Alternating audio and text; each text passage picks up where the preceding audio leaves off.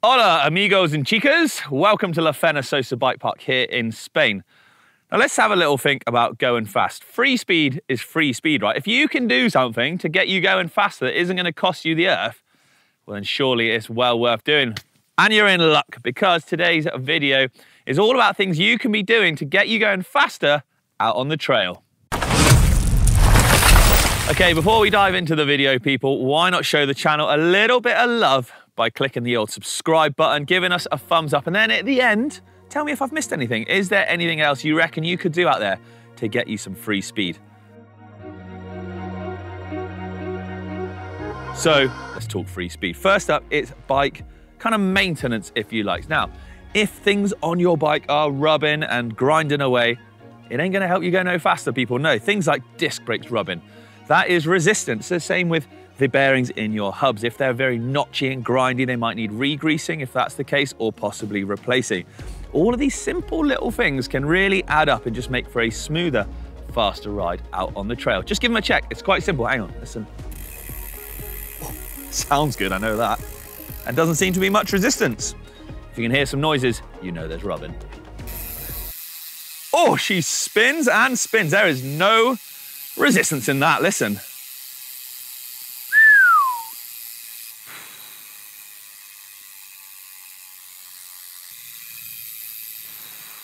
Come on!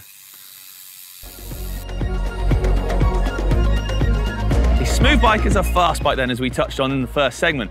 But a properly set up bike, well, that is also a fast bike too. So what can you do to your bike to make it faster out on the trail? Being comfortable on the bike then, well, it means more confidence and in turn, more speed. So if you do get this thing dialed, hey presto, you are gonna be going faster. So let's start at the front. So we've got suspension. It's a huge part of your bike. If you're running front suspension and it's an air suspension unit, then having the right pressures in there, playing around with the volume tokens and adjusting it with the rebound and compression, all for your weight and riding style will make a huge difference, as will obviously the tires. Getting the right tires for the type of riding that you do is absolutely crucial. There's no point having like these massive downhill tires on if you're an XC racer. It's only gonna make your life a little bit harder. Moving up, cockpit setup. So things like stem length, stack height, bar roll, and uh, lever position. And that goes for all the levers, not just the brakes. So we're thinking of shifter, dropper, brake levers. You've really got to have a good play around and get them in exactly the position you want. But what about the middle of the bike? So the middle of the bike then, well, we've got obviously the rear suspension unit. So again, if it's an air unit, getting the right pressure in there, tokens, rebound, compression. Again, much like the front, absolutely spot on is really important. Just take the time, do lots of runs of the same track until the bike feels really comfortable. Seat post and seat height, seat position, again, crucial to being really comfortable. So if you've got a big dropper like this, you wanna make sure it's at the right position when it's at its fully most extended. And then again with the saddle, so tilt uh, and where it sits on the rails. Further down, well, you do have things like the front chainring, which you can adjust uh, in terms of changing what size it is to get your gearing ratios correct. What about over to the back? Well, at the back end of the bike, it's a slightly more straightforward affair because we don't have any suspension units or things like that. There's slightly less adjustability going on. But if you are new to riding, it might be sort of getting the right gears and the types of gears that you want. So 1 by 12 is running on this and we have a big wide, wide ratio cassette, sorry, which means I can winch myself up and down any kind of hill, getting those gears running nice and smooth as well. And again, tire choice. I didn't talk about pressure at the front because I'm gonna talk about it right now. So once you've got the right tire for the right application, well then it's getting that tire uh, pressure dialed and maybe running an insert in there. So these are big 2.6 Enduro Casing tires because I'm smashing these rocky trails and I need all the puncture protection and assistance I get. And I'm running a tire pressure that I normally do. And all of these things dotted all over the bike are really gonna add up to making you feel very, very comfortable on it and hopefully rapid as you like. Sessioning, practicing something, it's something we should all be doing, regardless of the type of feature or our skill set, shall we say, or our skill level. Just simply practicing and sessioning can really make us much better riders. So I've come to this section here. It's a fairly innocuous looking section. There's two rollers here, there's two rollers there. So for some of us, just manualing through these two rollers could be quite tricky. So just practicing that over and over again to really dial it in and get the technique and skill sorted is something that you can do in a fairly safe environment. If you're a more advanced rider, well, you could look at spicing this up. So I maybe come in, I might double up the first one, manual the second, or I might manual the first, double the second. I might go for the mega manual and get through the whole lot. I'm gonna have a little mess around because that is the way you do get better, and getting better is getting faster.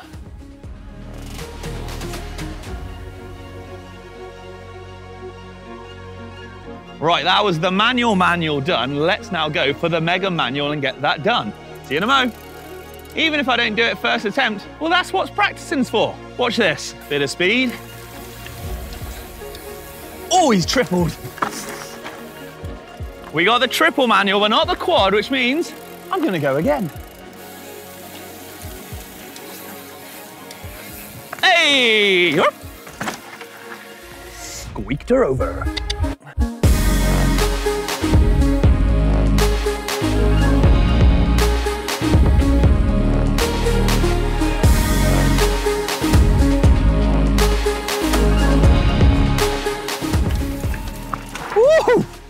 Whoa, right, this is a particularly wild looking section. I had to get hard on the brakes to not drop in straight away without looking, which brings me nicely to braking. So knowing where, when, and how to brake and just how much exactly is great for not losing any more speed than you potentially need to. So let's have a quick look at this section and see how we go about that.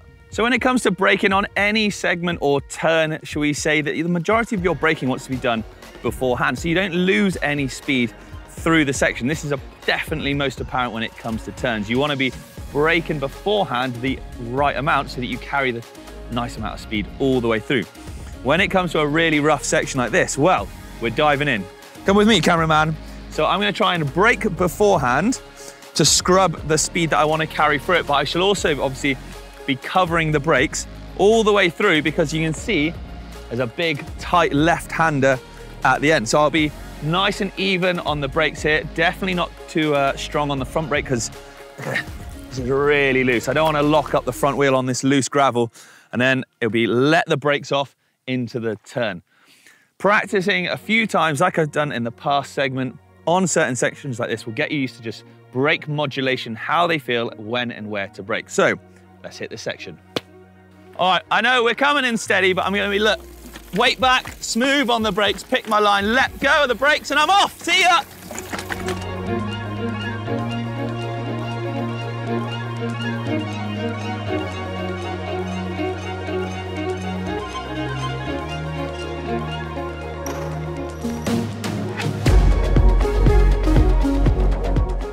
So if I told you slowing down will make you faster, you'd think I was an absolute madman, right? You'd think, Rich, you're mental. And well, you might be 100% correct, but it is true.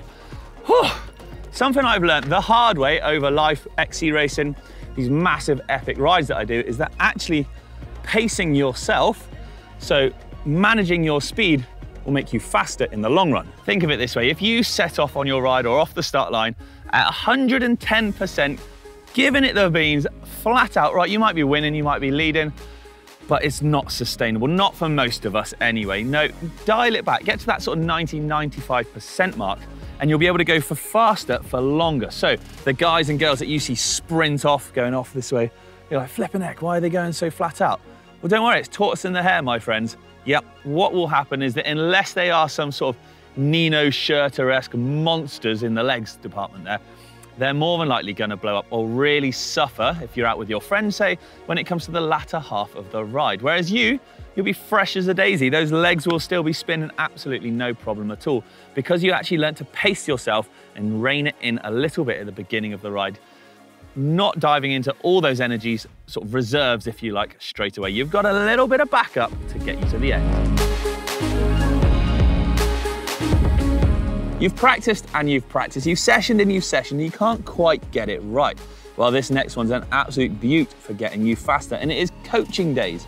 Yep, using the knowledge of a more experienced rider to help you dial in, maybe learning a new skill, brushing up on some old skills, or maybe doing a current skill in the right technique. Using that person's information that they already have can really help you get quicker.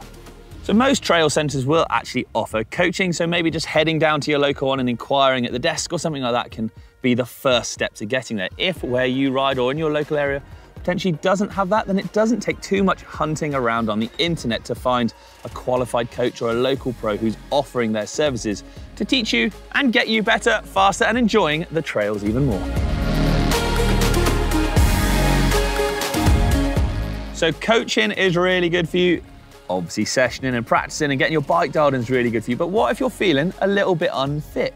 What if you're what if you think it's holding you back? Well, this is my next one. A bit of training can go a long way.